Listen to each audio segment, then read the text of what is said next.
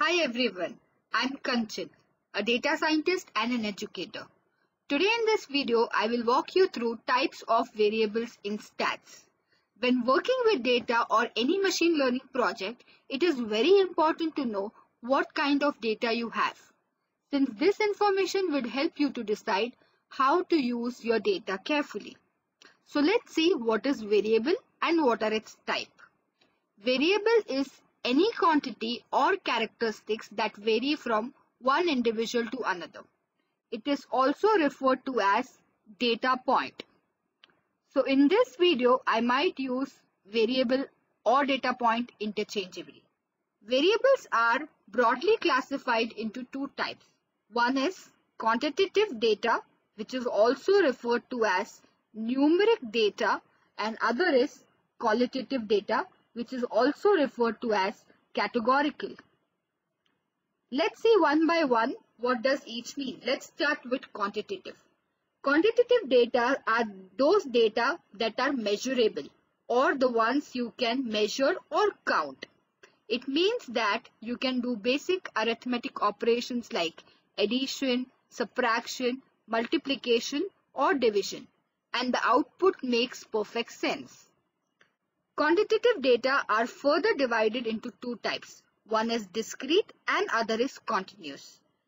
Discrete data are ones those take only particular values within a range. Let me give you an example so that it's clear.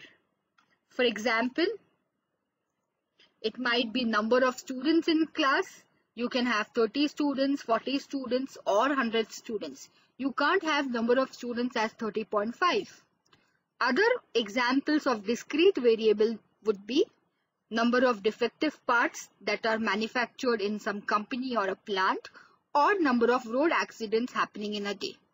So discrete variables or data point are the ones that take only particular value within a range. Whereas when we talk about continuous class, they can take any value within a range. By saying any, I mean they can take uncountable number of values within a range. Examples would be weight. You can have weight as 68.45 kg, you can have it as 68.456 or 70.5. Other examples would be height, distance, temperature because these variables have decimal values. So I think you're clear with quantitative data Let's check what does qualitative data means. Qualitative data are descriptors or characteristics that cannot be easily measured, but they can be observed like taste, smell, etc. Qualitative data are divided into two parts. One is nominal and other is ordinal. Nominal data have names or labels associated with it and they do not have any order. So you should remember there is no intrinsic order in nominal data. For example, eye color, you can have black eye, brown eye or a blue eye. Other examples would be blood group, state and zip code.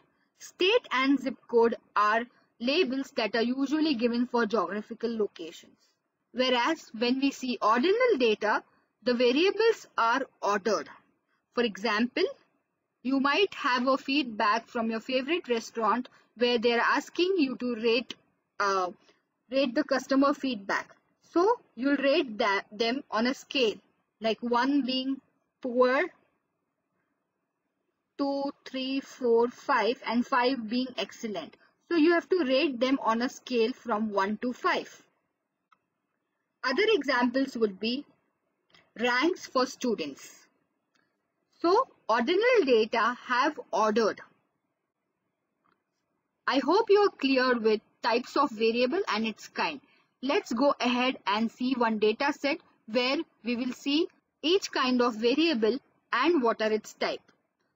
So this is invoice data. Let's see what columns it has. You have invoice number, customer name, product, quantity, price and customer satisfaction.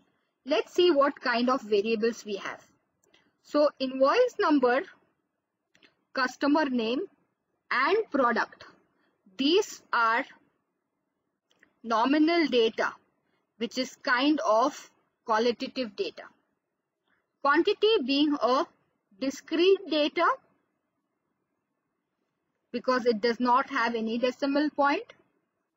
Price is continuous. And customer satisfaction is ordinal data, which is a type of qualitative data. So I hope you are clear with types of variables in stats. If you like this video, please like and subscribe to my channel. Thank you for watching this video. Happy learning.